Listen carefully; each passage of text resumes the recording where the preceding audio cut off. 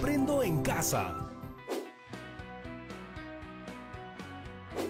A ver, a ver, a ver. Es viernes y nuestro peruanísimo cuerpo lo sabe. ¿Con qué comida te gustaría empezar este fin de semana? ¿Tocino?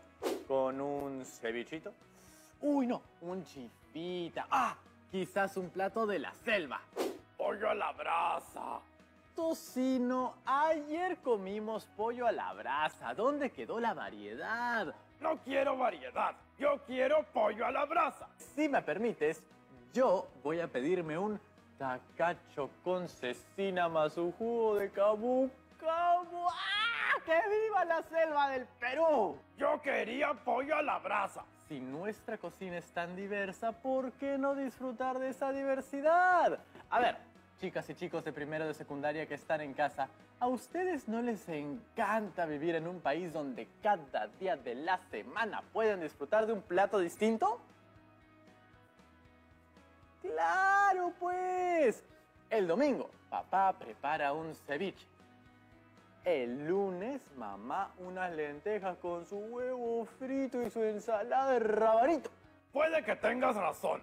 El Perú parece el país de las mil opciones. Y esa diversidad de los alimentos también se da en toda la cultura. Tenemos distintas costumbres y tradiciones propias de las distintas regiones. Distintas lenguas, distintas formas de hablar, distintos rasgos físicos, distintos gustos musicales.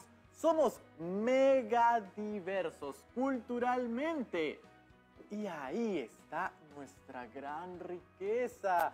¿Te imaginas si todos los peruanos fuéramos físicamente iguales y todos nos vistiéramos igual y todos habláramos igual y todos los días comiéramos pollo a la brasa? Mm, Eso sonó aburridísimo y hasta perturbador. Lo que tenemos que reflexionar siempre es en qué contexto y circunstancia estamos.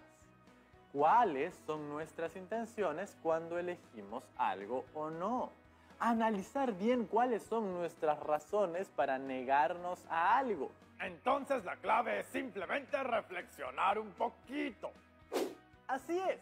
Antes de decir o hacer algo, haz lo que dice el profe Gareca. Pensá. Está bien, pide ese tacacho con cecina. Yo me voy a buscar mi pollo a la brasa. ¡Se fue! Creo que aprovechamos esta diversa y culinaria discusión para conversar con nuestros invitados e invitadas especiales del día de hoy. Sí, hoy, al igual que el viernes pasado, también tenemos invitados especiales en el programa. Gracias por venir a conversar conmigo y con los chicos y chicas de primero de secundaria. Hace tiempo que queríamos escuchar sus voces en el programa. Hoy vamos a hablar de diversidad y de los conflictos que puede generar. María, ¿qué es para ti la diversidad? significa reconocer las diferentes expresiones de cada región, pueblo o país. Así la diversidad va a ser una fuerza motriz para el desarrollo de nuestro país. Muy bien, María, qué interesante reflexión. Y para ti, Tocayo, ¿qué significa la diversidad? Para mí, la diversidad cultural es el conjunto de diversas culturas e interacciones de personas de distintos grupos sociales, donde comparten las religiones, las tradiciones, costumbres, lenguas y modos de vida de cada persona. Exacto, eso es diversidad. Ahora vamos con Tracy. ¿Por qué crees que en el Perú somos diversos? En el Perú somos diversos por la variedad de platos típicos que tenemos en cada región. Aparte de eso, también en la artesanía. Y por eso es que eso nos hace en el Perú muy diversos. Ahora es el turno de Esteban. Para ti, ¿qué es la diversidad? Para mí la diversidad cultural hace la referencia al grado de la variación en que, las ex- que existe interacción eh, de diferentes culturas. ¿Por qué crees que en el Perú somos tan diversos? Porque cada, un, cada lugar tiene diferentes culturas. ¿Y eso nos podría traer problemas? ¿Tú qué crees, María? Nuestro país es muy diverso y no, no creo que nos pueda traer problemas. Tracy, dime, ¿tú cuál crees que es la mayor dificultad en un país tan diverso? La principal dificultad en un país tan diverso es la discriminación. Por ejemplo, que si tú eres de una región y viajas a otra región, ya te comienzan a discriminar, ya sea por tus costumbres, tu lenguaje o por tu forma de vestir. Ahora, Tracy, cuéntame, ¿has tenido la oportunidad de viajar a otras regiones y aprender otras costumbres distintas de las tuyas? Sí, he viajado a Chiclayo, soy de ahí, pero vivo en Lima. Suelo ir de vacaciones y lo que he experimentado es sobre sus platos típicos y la diferencia es que en Chiclayo hace mucho más calor que en Lima. Ahora, María, ¿tú qué crees que podamos hacer para superar estas dificultades? Debemos empezar eh, por no discriminar entre nosotros las personas, eh, no discriminar su religión, ni mucho menos su cultura, o porque hablan distintas lenguas. Debemos empezar respetándonos entre nosotros mismos, empezar respetándonos en el ámbito social y también respetando su ámbito cultural de aquella persona. Esteban, tu turno. ¿Qué podemos hacer para superar estas dificultades? Eh, lo que haríamos es no hacerles caso. Cada uno es como es, eh, todos somos iguales por dentro. No le hagamos caso por preguntas absurdas que los hagan la gente que no nos conoce. Porque de repente ellos también tendrían una dificultad. Pero nosotros aún no nos damos cuenta y no nos burlamos de ella. Y tú, Rodrigo, dime, si no vivieras en Perú, ¿qué platillo extrañarías?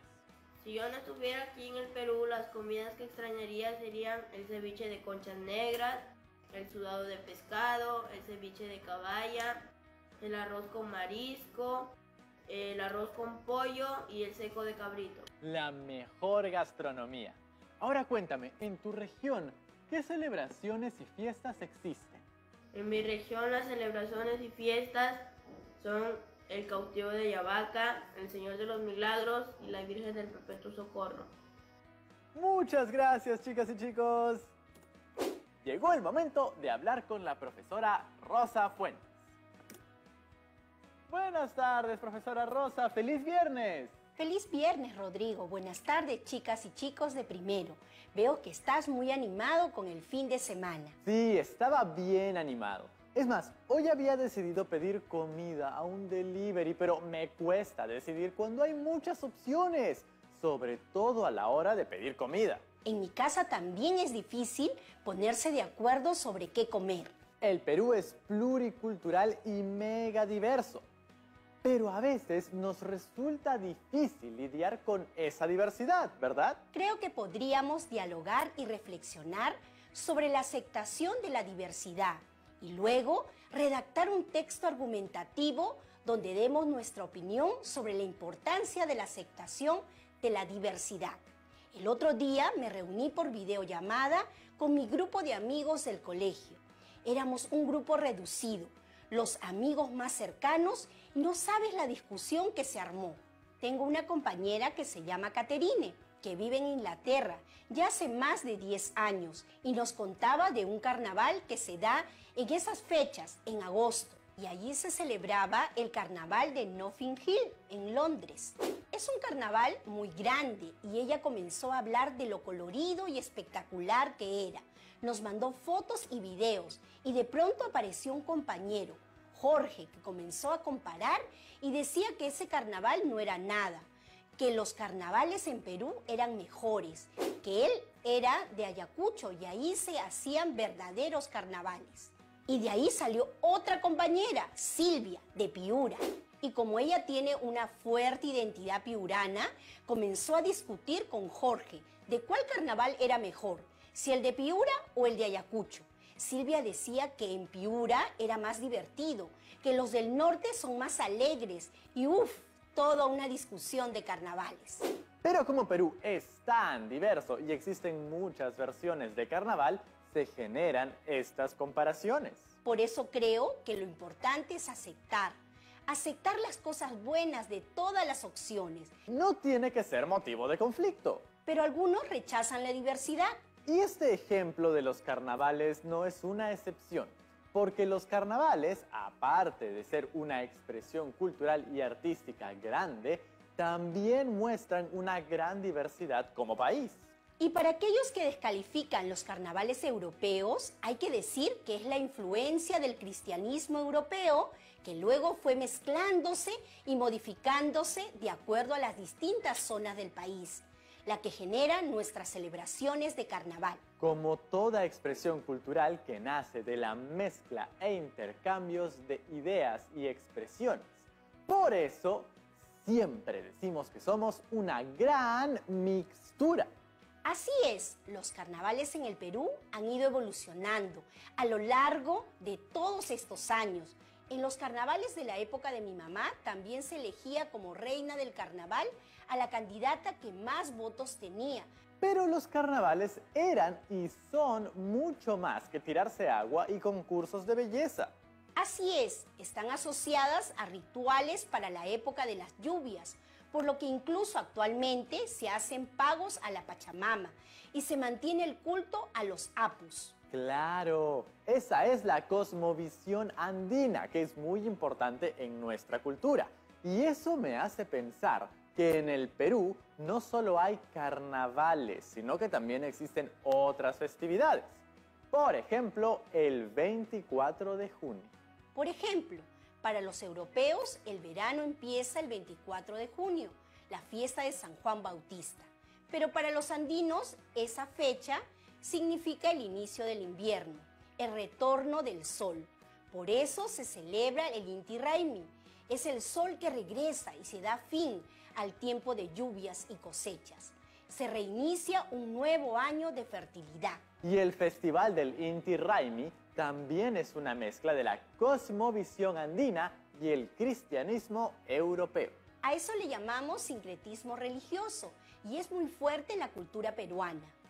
En España, la fiesta de San Juan la celebran el 23 de junio y en ella encienden grandes hogueras representando virtudes mágicas y purificadoras. Así es, recordemos que en la cristianidad San Juan Bautista es el que anuncia la llegada de Jesús es el precursor, el que prepara a las personas para la llegada del Mesías, que coincidentemente tiene una celebración el 24 de diciembre, que es el inicio del invierno para los europeos. ¿Quién iba a pensar que el clima y la religión estaban tan relacionados, no? Sí, es algo muy marcado en todas las culturas del mundo y la andina no es la excepción. Y no solo en los Andes del Perú, sino también en nuestra Amazonía, ¿verdad? La fiesta de San Juan, por ejemplo. ¿Por qué crees que se come el tradicional Juané? Juané es en referencia a Juan en el día de San Juan. Así es, ese día se presentan diferentes danzas en honor a San Juan Bautista. Por ello, los habitantes acuden a los ríos y lagunas para realizar el baño bendito. Mientras que el Inti Raymi también se celebra en todos los territorios en los que se extendió el Tahuantinsuyo, Ecuador, Colombia, Chile y Bolivia. Todo en honor al Inti, al dios Sol, ¿verdad? Exactamente, por eso con la llegada de los españoles en el siglo XVI se la prohibió por considerarse una fiesta pagana. Imagino que en el siglo XVI no había mucha lucha contra la discriminación ni se promovía la libertad de culto. No, no había nada de eso. Todos los ejemplos mencionados hacen referencia a la peruanidad, pues tanto la fiesta de San Juan como el Inti Raymi forman parte de nuestra identidad colectiva y son diversas dependiendo de la región. Por ejemplo, Cajamarca es considerada la capital del carnaval, pero también están los carnavales de Arequipa, Ayacucho, Huánuco y Junín. Y en cada carnaval hay diversas manifestaciones culturales, como las comparsas, los bailes, la música, las vestimentas, y todas varían según la ciudad. Hay algunas donde se realiza la yunza o palo siluro. ¿Conoce? La yunza consiste en tumbar un árbol que ha sido adornado con diferentes objetos. Los participantes bailan alrededor del árbol y con un machete van dándole hasta que finalmente cae. En algunas zonas, quien hace caer el árbol tiene la responsabilidad de celebrar la siguiente Yunza. En otros carnavales, como los del distrito de Barranco, aquí en Lima, en vez de yunzas usan pinturas y talcos para celebrar los carnavales. Así es, todas las festividades son una actividad positiva para nuestro país, porque nos hacen recordar nuestra diversidad cultural y nos hacen ver que tenemos razones para celebrar. No se vayan, chicas y chicos, seguiremos conversando sobre nuestras hermosas diferencias. ¡Ya volvemos!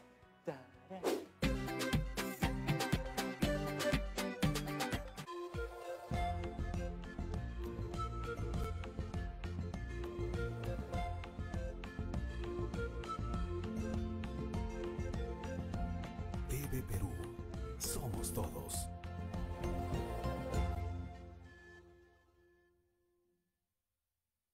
A una hora y media de Ica, encontraremos Samaca, el primer valle orgánico del Perú, donde los habitantes viven en armonía con la tierra que los alimenta. Eco Museo Samaca, encanto de culturas. Paisaje, cultura y medio ambiente. Museos Puertas Abiertas, este sábado a las 5 y 30 de la tarde, por TV Perú. Primero mi salud. Ya. ¿Cómo era? Hola a todos, soy Alexia. Y yo soy Eduardo Mesa. Perdón por llegar tarde. Y estos son los titulares altos en positividad. Canal IP estrena un noticiero diferente, con solo noticias positivas, porque es ahora más que nunca que tenemos que ver el lado bueno de las cosas. No, no la hago con la negatividad. Casi Noticias, comunidad adolescente al servicio informativo. Lunes a viernes, 4 de la tarde, por TV Perú. Primero, mi salud. ¿Tienes la necesidad de viajar? Recuerda que solo podrás hacerlo si utilizas la mascarilla y el protector facial. Para desplazarte en transporte público, mantén la distancia social. Paga por el servicio antes de subir al vehículo. Y viaja únicamente sentado. Si requieres trasladarte fuera de tu ciudad de residencia, dirígete a los terminales sin acompañantes y portando una declaración jurada de no estar infectado con COVID-19. Si viajas en bus interprovincial, los asientos deben estar separados por cortinas plásticas. Si vas a trasladarte vía aérea, acude al aeropuerto tres horas antes y podrás ingresar previo control de tu temperatura. Recuerda que es importante vigilar que cualquier vehículo de transporte terrestre o aéreo se encuentre desinfectado antes de su uso. Solo así podrás transportarte. Si me cuido yo, cuido a los demás. Primero mi salud. Estamos viendo Aprendo en casa, secundaria.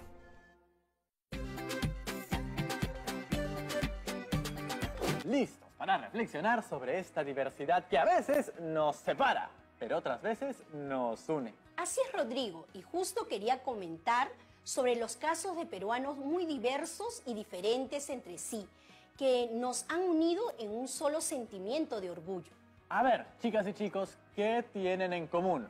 Uno de los mejores tenores de la actualidad mundial, una maratonista medalla de oro panamericana, un premio Nobel de literatura y una ganadora del Grammy. Se ven bien diferentes y diversos entre sí, ¿verdad? Sí, pero yo sé que tienen en común que son peruanas y peruanos. ¡Exacto! ¡Arriba el Perú! Así es, y esa diversidad y orgullo también la experimentamos en nuestra riqueza arqueológica, natural y geográfica. ¡Qué paisajes tan bellos y tan distintos entre sí! Y también en el liderazgo mundial que tenemos en muchos sectores productivos. ¿Se dan cuenta? Nuestra diversidad nos ha llevado a ser reconocidos a nivel internacional. Todos los peruanos exitosos que hemos presentado aquí, Juan Diego Flores, Gladys Tejeda, Mario Vargas Llosa y Susana Vaca, son personas que han sacado de su experiencia como peruanas y peruanos los ingredientes positivos necesarios para resaltar en cada uno de sus rubros. En vez de generar discriminación o exclusión social, nuestras diferencias deberían generar admiración e inclusión. ¿Cómo logramos superar nuestras diferencias y contribuir al bienestar de los demás? 1. Hay que ser respetuosos de las diferencias. Recordemos que todos merecemos respeto. 2. Debemos estar dispuestos a aprender de otras culturas. 3. Recordemos siempre ser empáticos. ¿Cómo las ponemos en práctica? Por ejemplo, cuando respetamos las diversas maneras de preparar algún platillo, como el ceviche. En Piura lo comen con zarandaja, una especie de frijolito. Y por otro lado, en Cajamarca el ceviche lo comen con papa. Y ambas formas están bien. Que sean diferentes no significa que una sea mejor o peor. Que algo sea diferente no significa que sea mejor o peor. ¿Podríamos decir que al aceptar esta variedad gastronómica estaría dando una actitud positiva hacia la diversidad? Por supuesto, la comida peruana se basa en la diversidad. Por eso también hay diversas ferias gastronómicas, como la Feria Perú Mucho Gusto. Uy, sí, yo fui ahí una vez y comí buenas. Y hoy en día, a diferencia de la época de la colonia, somos muy conscientes de estos temas, tanto que el sector público como el privado se preocupan por promover las iniciativas de difusión de nuestra cultura. Veámoslo. Las lenguas están vivas y para mantenerse dependen de sus hablantes. El chipicaz, como lo llama Juan Agustín, lo demuestra. Del mismo modo, el castellano y sus distintas formas, su variedad de tonos y sus regionalismos lo enriquecen más y evidencian la diversidad cultural del Perú. Sin embargo, aún persiste la discriminación lingüística contra aquellos que no hablan un castellano, llamémosle estándar. Muchos de nosotros no sabemos que el quechua tiene tres vocales, ¿no? Y que no se puede pronunciar bien otras, otras vocales en conversaciones, ¿no? es diferente eh, pronunciar esas palabras y ya nosotros nos burlamos eh, de eso sin saber, ¿no? Sin tener el conocimiento, sin saber del idioma, sin saber el, las personas que, que, lo hablan, sin saber toda la cultura que hay. Eh, nos dejamos llevar por las demás personas y, es este, algo que por mucho tiempo se ha ido influenciando, ¿no? Y en mi canto lo repito, jalwas pincho, jalwas pincho, porque yo, un pajarito indio, me cristianicé contigo. Renata Flores es ayacuchana y tiene 19 años. Hace un par de semanas, el New York Times le dedicó un artículo por ser una cantante del género trap, pero en quechua.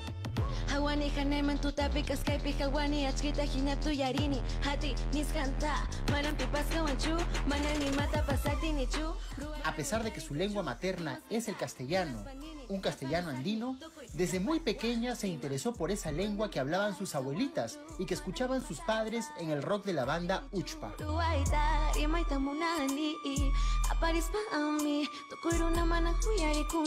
En mi colegio también tenía compañeros que eran quechua hablantes y estudiaban ¿no? Eh, en el salón español ¿no? y tenían dificultad, esa dificultad y varias experiencias que me impulsaron a, poder em, ser la voz ¿no? de, las personas quechohablantes, de las personas que realmente eh, merecen tener el respeto, ¿no? Eh, merecen ser tratados igual. Y ese fue un impulso que a mí me, me llegó mucho y, hasta ahora es la razón por la que sigo defendiendo, sigo protestando, ¿no? Por esas personas. Mancha, cuita,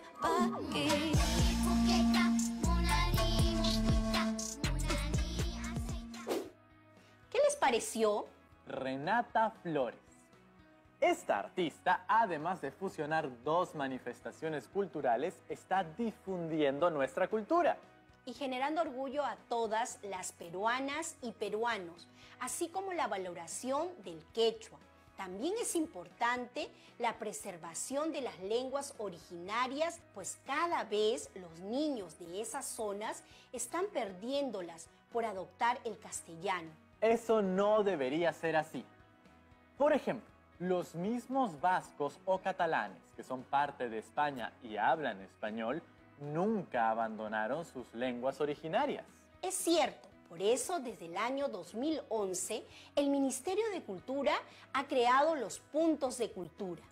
Estos puntos se ubican en diferentes zonas del país para ser un medio de revaloración de la cultura de cada región y buscan promover la identidad cultural, facilitando el aprendizaje de la danza, las festividades o los platos típicos. Tenemos que aumentar nuestras buenas prácticas interculturales. Es importante siempre estar abierto a practicar costumbres de distintos lugares, porque las situaciones interculturales en un país tan diverso como el nuestro son muchísimas. Es verdad. Por eso, la tarea es propiciar que en nuestro país se genere un ambiente caracterizado por la igualdad social. Y esa igualdad ya existe, se encuentra en las leyes, tanto en la Declaración Universal de los Derechos Humanos como en la Constitución Política del Perú. Solo hay que ponerlas en práctica y respetarlas. Exactamente, en los lugares públicos, por ejemplo, está prohibido todo tipo de discriminación. Incluso también algunas universidades o instituciones hacen énfasis a la diversidad cultural. Los programas de Beca 18 albergan estudiantes de las diversas zonas del país. De igual manera, los colegios de alto rendimiento. Es verdad, los programas de intercambio de estudiantes ayudan mucho a interactuar con la diversidad cultural, pues conviven estudiantes de diferentes regiones y nacionalidad. La diversidad cultural, por tanto, no debe ser vista como un obstáculo, sino como una oportunidad para mejorar como país. Es verdad, y como todo empieza en casa, creo que ya podemos pasar a la ronda de preguntas. Gracias por el programa de hoy. Me encantó saber que mi país es tan diverso.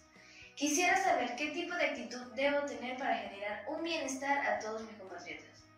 La colaboración entre nosotros, el ayudarnos mutuamente, sin importar las diferencias, nos permiten hacer más concreto este bienestar. Siguiente pregunta. Yo siempre soy muy respetuoso y tolerante en mi colegio, pero siendo honesto, no me cuesta mucho hacerlo en mi familia. ¿Qué acciones me permitirán mejorar la convivencia frente a la diversidad que hay en mi casa? Hay que aprender a respetar las reglas y normas que se han establecido y también hay que aprender a comunicarnos con respeto y adquirir una cultura de paz e igualdad. Muchas gracias, profesora Rosa Fuentes. Gracias por compartir hoy con nosotros. Chao, chao. Y ya saben, chicas y chicos, a respetarse y a estar muy orgullosos de nuestra diversidad. ¡Hey, Tocino! La magia de la tele te trajo de vuelta. Hoy he aprendido a ver las diferencias como una oportunidad para ser mejor. Por eso, para cumplir con el reto que propuso la profesora Rosa, lápiz y papel. Ustedes chicas y chicos que están en casa van a redactar un texto argumentativo en el cual sustenten su postura sobre la importancia de aceptar y valorar la diversidad para lograr el bienestar personal y de la comunidad. Lo redactan y lo guardan en el portafolio.